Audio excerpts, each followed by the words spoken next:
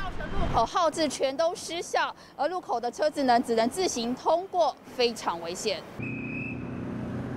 不止南部大停电，北部地区交通号志也停摆，大楼也是漆黑一片。九点二十五分就停了，停到现在不止哦，不止二十五分哦，就停了啊，全部停了，根本没人，黑黑的谁进来？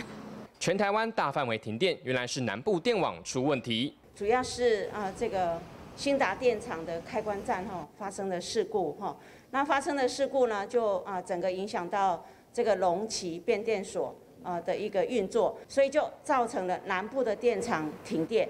这一次停电，整个电网丧失一千零五十万千瓦的电力，等于全台三分之一的电力。台电粗略估计，总影响户数大约五百万户。因为这次突然丧失一千多万千瓦的这个电力哦，我们的低频哦就会触动。低频现在就是我们的频率啊，如果降到五十九点五以下，我们会自动的把负载把它卸掉，来维持系统的平衡。刚忽然停电吗？对，没错。台电表示，中北部地区在中午左右会恢复供电，南部地区也会陆续恢复供电。大爱新闻综合报道。